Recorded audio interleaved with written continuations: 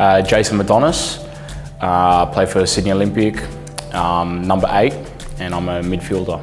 Pre-season's been going well. Um, we've been on track. Uh, made quite a few new signings. We've also retained a lot of players. Um, but yeah, everyone's training well. Everyone's working well. The team is gelling nicely.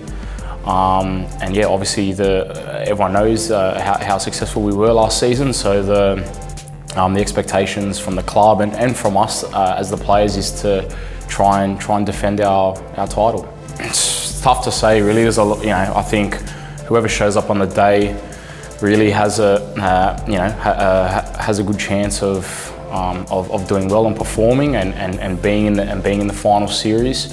Um, I'd have to say maybe uh, maybe Rockdale, maybe Marconi's. They've made a lot of signings as well. So and and and hopefully us as well. But I could, I could see those two uh, those two teams mixing it uh, towards the end of the season.